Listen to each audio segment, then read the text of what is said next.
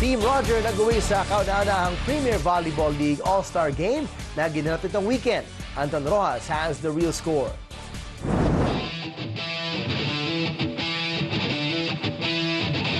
Isang star-studded volleyball showdown ang nasaksihan ng mga fans kahapon sa San Juan Arena dahil nagsama-sama ang mga paboritong men's and women's volleyball players ng Premier Volleyball League para sa isang All-Star Sunday.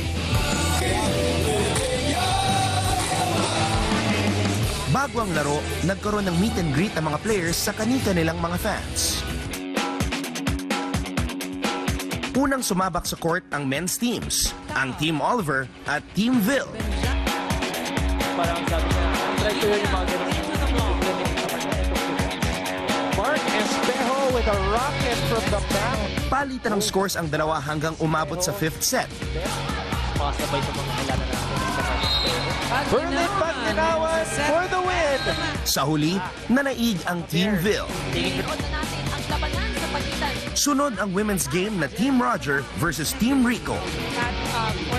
Sa Team Roger, magkakasama sina Diana Carlos, Gretzel Soltones, Jasmine Abor at Risa Sato. Habang nasa Team Rico naman sina Gia Morado, Myla Pablo, Bea De Leon at Nicole Tiamzon.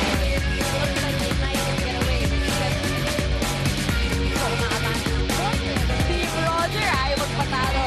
Unang nakuha ng Team Roger ang first two sets. Feeling ko warm up lang ng konti yung sets 1 and 2. They go to Myla Pablo.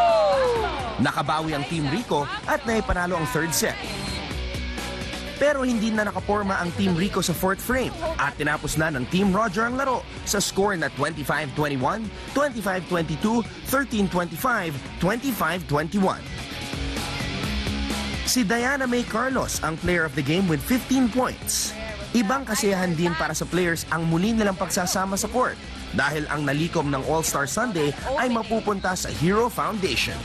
All-Star Sunday was really fun for us kasi we don't always get the chance to play with our opponents in PBL. So, sobrang grateful kami sa chance na magawa yun. And at the same time, grateful kami na nakatulong kami sa charity which is Hero Foundation.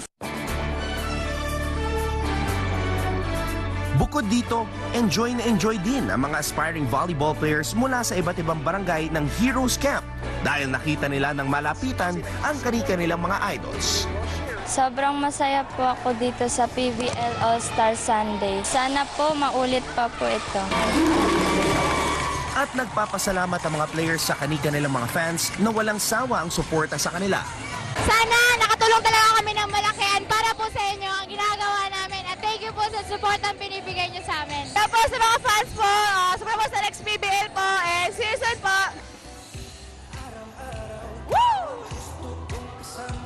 Aabangan ang mainit na volleyball action sa Premier Volleyball League sa susunod na taon. Anton Rojas, ABS-CBN News. For more sports updates, keep watching The Score. And don't forget to subscribe.